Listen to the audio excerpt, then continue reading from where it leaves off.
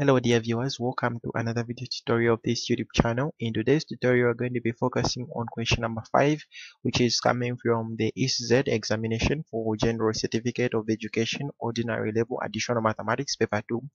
And the paper that we're going to be considering, it is uh, the paper for the external candidates that they wrote in 2024. So this is the paper that we're going to be considering in today's tutorial. So let's now try to check where the question is located. Let's try to check where question number 5 is located. The question that we're going to be interested in in today's tutorial, it is falling under permutations and combinations. It is falling under permutations and combinations. So now let's try to check. So that is the question that we're going to be interested in in today's tutorial. It is question number 5, falling under permutations and combinations. The question has two parts. It has part A and part B. Part A has feather parts. It has Roman numeral 1 and Roman numeral 2.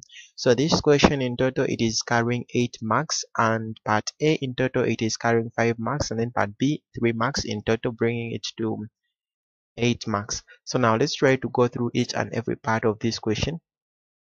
We're going to start with the first part of this question which is part A Part A states that in how many ways can 11 men and 3 women be put in a straight line if Roman numeral 1 there are no restrictions and then Roman numeral 2 no two women are together. So this is uh, the first part of the question that we have and then let's go to another part, another part which is part B. Part B states that a group of 4 students is to be chosen from 7 males and 3 females. Find the number of ways of choosing at least 3 males so this is uh, the whole question. We have gone through each and every part of this question. So the next thing that we're going to do is that we're going to consider the solving. But before I get into the solving I would like to remind you to subscribe to this YouTube channel so that you are always going to be updated with the latest information. Don't forget to turn on the notification button so that you are to be notified when there is latest information on this channel. Don't forget to comment so that we can hear out your views and also don't forget to share so that others can also enjoy the tutorials of additional mathematics. Last not the least you can like this video by giving it a thumbs up. So now let's try to get into the solving it is question number five so this is the question. So we're going to start with the first part of the question which is part a roman numeral one. So this one isn't even complicated. So it states that in how many ways can 11 men and 3 women be put in a straight line if there are no restrictions? So now if you're dealing with people if you're dealing with people and they have told you that there are no restrictions the only thing that you have to do is that you need to add you have you need to find the total number of people. And then in such a case we have 11 men we have 11 men. So we're going to say 11 men plus 3 women which will give us the total number of people. So in such a case we're going to say 11 plus 3 so 11 plus 3 it will give us the value of 14 so what are you supposed to do with this 14? So we have 14 people in total. What are you supposed to do with this 14? So you have to say that 14 factorial. You have to say 14 factorial. That's one thing that you need to keep in mind.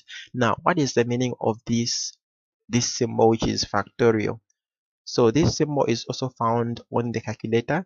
This symbol is also found on the calculator. So what is the meaning of this symbol which is factorial? When you say 14 factorial, what does it mean? So when we say 14 factorial, it simply means that we are saying 14 times 13 times 12 times 11 times 10 times 9 times 8 times 7 times 6 times 5 times 4 times 3 times 2 times 1 like that. So that is the meaning of this statement which is 14 factorial. So now you can use your calculator. You can just simply say 14 factorial. You can just simply press 14 factorial. It will give you the actual figure. So 14 factorial it is uh, the same as 14 times 13 times 12 times 11 times 10 times 9 times 8 times 7 times 6 times 5 times 4 times 3 times 2 times 1 so that is the meaning of this one which is 14 factorial. Now when you consider the calculations it will give you the value which is 8 7 1 7 8 two nine one two zero zero ways like that. So this is how you're supposed to answer such questions. This is how you easily score marks for such questions. I hope you have gotten the concepts. Now let's go to the next part which is roman numeral 2 so roman numeral 2 states that in how many ways can 11 men and 3 women be put in a straight line if no two women are together so we are given the condition that no two women must be together. That's the condition that we're given. So now what are we supposed to do in such a case? So in such a case, we're going to check if they tell you that no two women are together it means that the number of women must be less than or equal to that of men. That's one thing that you need to keep in, uh, in mind. Now is the number of women less than or equal to that of men? Yes that is correct. So we can proceed. So now let's try to check. Let's try to assume something. We're going to first start by considering the men. So we're given that we we have 11 men. So i'm going to write 11 men. So m is simply representing men like that. So m is simply representing men. So we have 11 men in total. So we're first going to find the number of ways of arranging these men. How can these men be arranged? So in such a case we have 11 men. We have 11 men. Those are the men that we have. So what are we supposed to do with uh, these men? We're going to say 11 factorial so we have 11 factorial or you can simply consider this way which is 11p 11 we have 11 men and out of those 11 men we're going to have 11 seats. These men are going to have 11 possible seats. So that is why we have written 11p 11 so in such a case it is 11 permute 11 so we have 11 men and we have 11 seats for men so it is the same 11p11 which is uh, 11 permute 11 is the same as 11 factorial. That's one thing that you need to keep in mind. So we are done with uh, the number of ways of arranging these men. Let's now go to another class or another group. So in such a case, we're going to consider the women. So how can the women be arranged in a straight line? How can they be arranged in a straight line? So we're going to have those spaces. Those spaces that's where the women can be arranged. So that's where the women can sit. Women can sit in those spaces. That's one thing that you need to keep in mind. So since we are given that we're told that we, not two women must be together. So that is the reason why we we are putting those spaces they have told us that not two women must be together. That's one thing that you need to keep in mind. So where there are spaces, that's where women can sit. That's one thing that you need to keep in mind. So in such a case, we're going to say how many spaces do we have? How many spaces do we have? So in such a case, we have 12 spaces. We have 12 spaces. So now the first woman is going to choose among those spaces the first woman is going to choose a seat among those 12 spaces. That's one thing that you need to keep in mind. So with the first woman is going to choose among the 12 seats. So the, the first woman can have 12 possible seats. The first woman can sit anywhere among those 12 seats. What about the second woman the second woman is going to have those spaces which are left.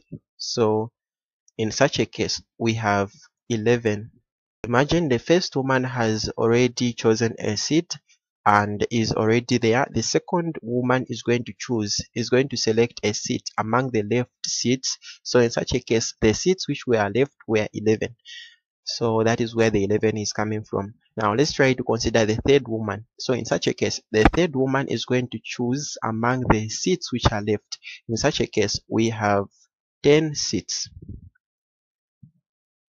The number of women exceeding 3 so we are told that the number of women is 3 so we are not going to exceed 3 so we are going to end on 10 like that.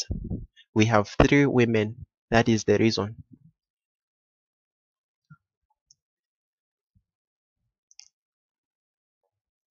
so now we can uh, try to consider this way. We're going to represent that in terms of permute to make our work easier. Now how can this one be easier?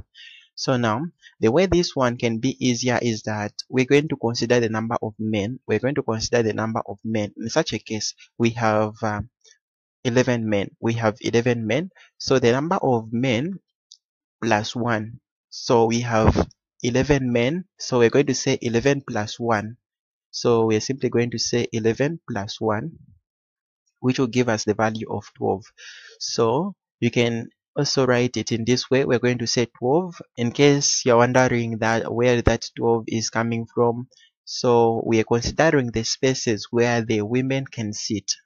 That's where the 12 is coming from. We are considering the spaces where the, the women have uh, the possible seats so that is why we said 11 plus 1 it will give us 12 so when even when you count those spaces it will give you the value of 12 that is where the 12 is coming from.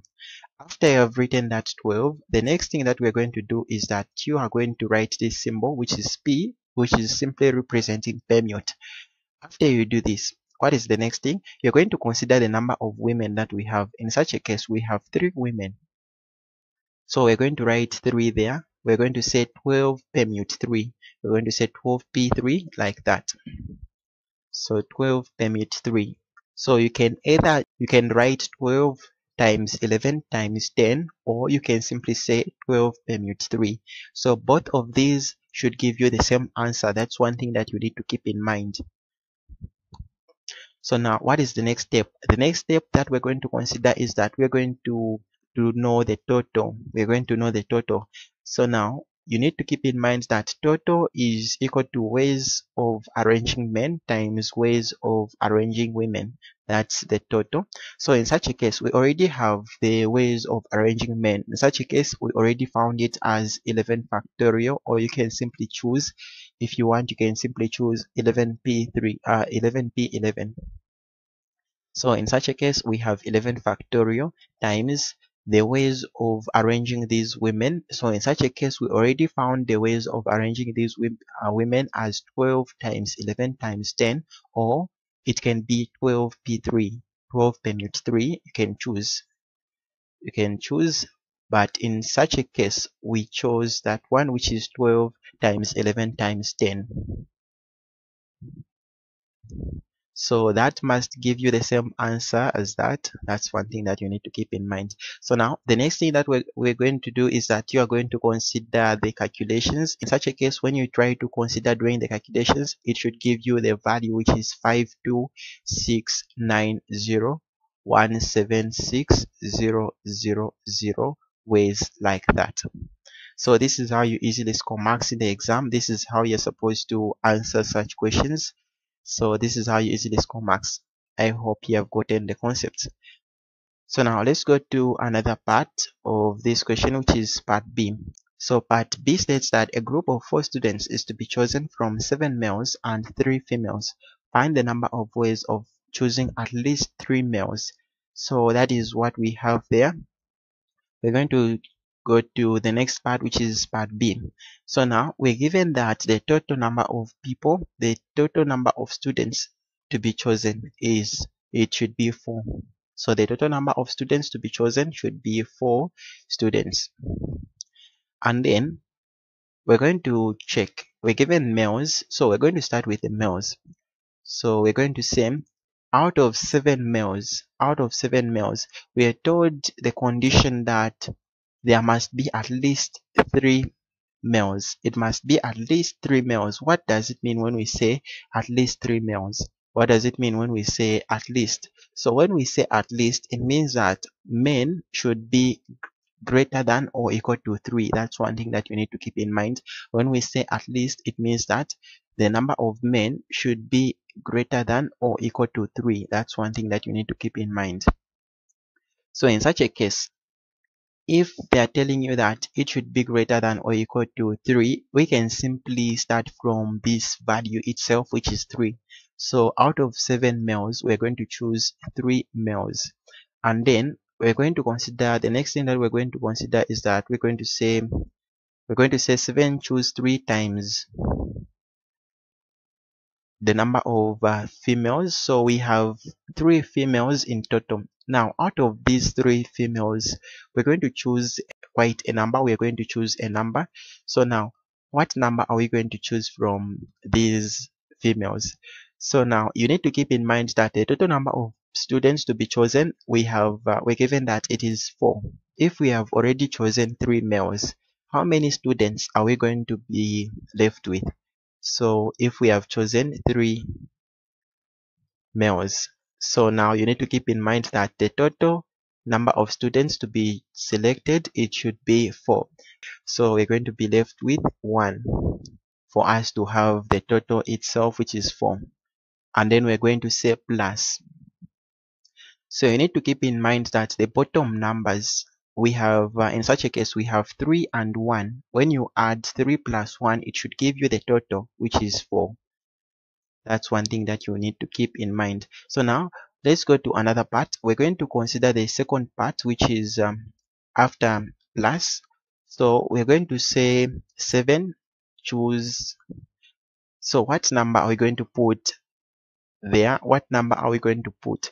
So now we're given the condition that it must be at least three males. Now if we already selected three so it must be more than three. That's one thing that you need to keep in mind so the next thing that we're going to do is that we're going to consider four. We're going to consider four.